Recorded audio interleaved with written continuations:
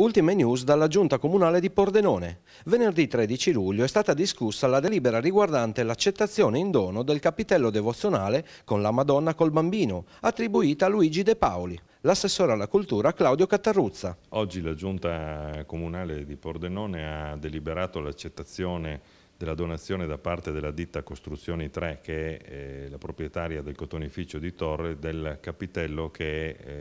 eh, sito all'imboccatura della strada che porta al cotonificio. Questo, questo, atto è un atto estremamente importante, ci rende doppiamente soddisfatti perché da un lato acquisiamo un bene al patrimonio della comunità, ma d'altronde ci darà anche la possibilità di mettere in salvaguardia il dipinto della Madonna col bambino che è datato intorno a metà del 1860 e, e ci darà anche la possibilità di restituire alla comunità di Torre un luogo estremamente importante come luogo devozionale di testimonianza di un'epoca estremamente importante per questo quartiere storico della nostra città.